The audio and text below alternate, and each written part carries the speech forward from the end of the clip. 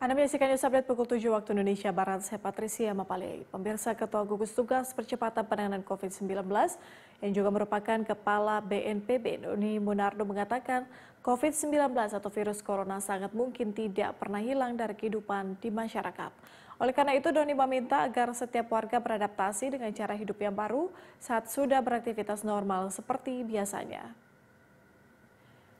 Doni mengatakan meskipun virus corona tidak akan pernah hilang, namun masyarakat tetap bisa beraktivitas dengan normal tanpa harus merasa takut atau tertular virus corona. Caranya adalah dengan menerapkan protokol kesehatan yang ketat seperti menghindari kerumunan atau menjaga physical distancing antar sesama.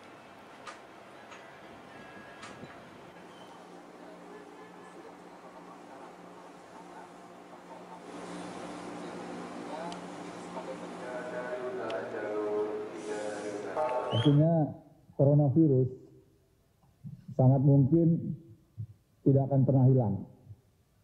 Nah kalau sudah demikian, tentu kita harus memiliki strategi menghadapi kondisi yang tentunya kita akan hidup bersama-sama dengan virus. Ini tidak terlepas dari upaya kolektif kita sebagai bangsa untuk betul-betul memahami kita tidak bisa keluar dari situasi pandemi ini. Kita harus mampu menyesuaikan diri. Bapak Presiden mengatakan berdamai dengan COVID. Artinya apa?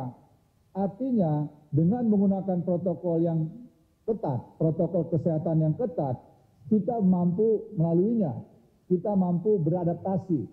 COVID-nya ada, tidak bisa hilang, tetapi kita tetap sehat.